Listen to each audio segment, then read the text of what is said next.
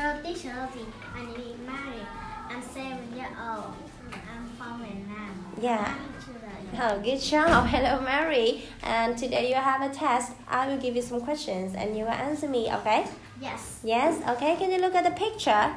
Can you tell me how many living rooms are there?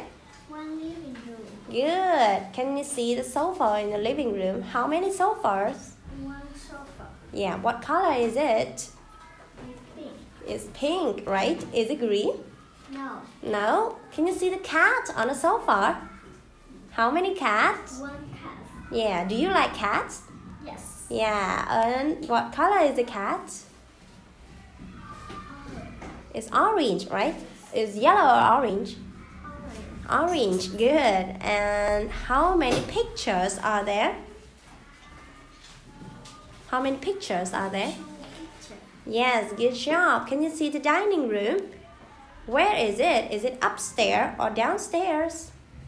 Downstairs.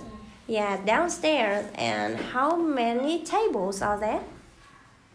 Um, one table. Yeah, can you speak louder? One table. Yes, and how many chairs are there? Four chair. Good. What color is the table? Is it green? No. No, so what color is it? Uh, red and white. Yeah, it's red and white, right? And can you look at and you look upstairs, how many bedrooms are there?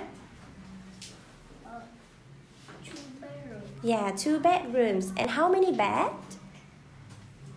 Two beds. Yeah, two beds. How many? Um, let me see. How many laptop? Can you see the laptop? One laptop. Yeah, one laptop is small, right? Okay, and how many bathroom?